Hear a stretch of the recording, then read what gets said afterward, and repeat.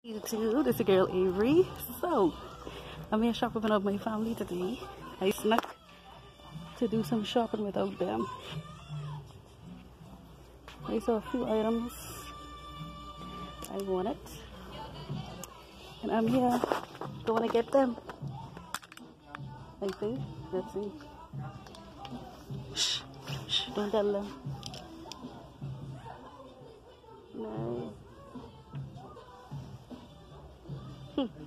Oh, when I don't like them nicknames.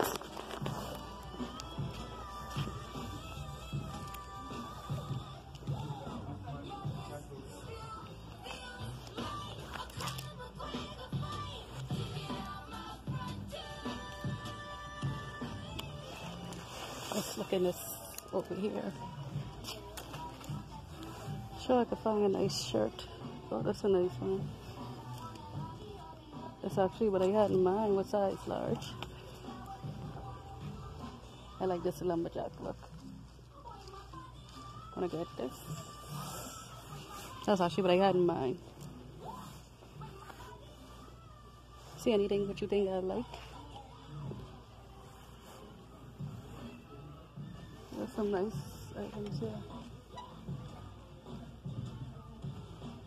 Hmm interesting. I like leopard, but not this much. It's actually ugly. What's this? Hmm. And I don't want to look exactly like a lumberjack. Hmm. Sure, I could find something else in here. But anyhow, shh, don't tell my family I came back without them to do shopping. I went for my friend's birthday. Pardon? I went for my friend's birthday. We skipped school and went and got our nose pierces. And then we got in a car accident the same day, which was. So, I got some more sweaters for me. Shh, like I said, don't tell them I came back shopping. Oh my god. They'll be so mad, but I'm not done yet. Just got some more stuff from Dollar Tree. The end of the video, I didn't only do shopping online.